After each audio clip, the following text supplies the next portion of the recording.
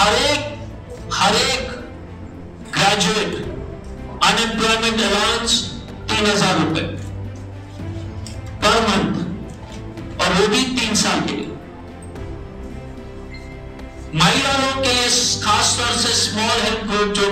नवीन बाबू इतने साल से थक रहे हैं इंटरेस्ट नहीं दे पा